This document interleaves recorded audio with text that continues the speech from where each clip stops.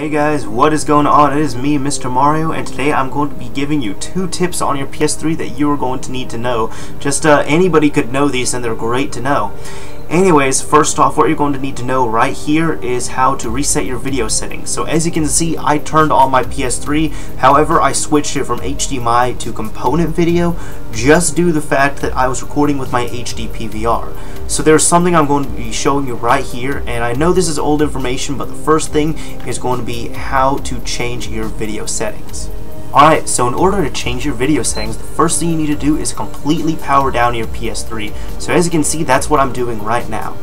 Now what you need to do after that, once you get the red light, you just need to hold down the power button and keep it held down.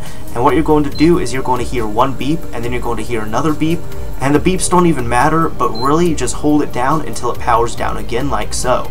After that, just power it on normally, and you should get your video reset to whatever you want it to be, whether it be composite, S-Video component, or HDMI.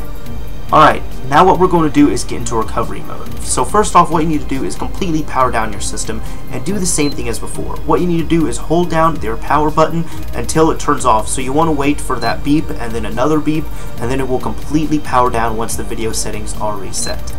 After that, you want to boot it up again.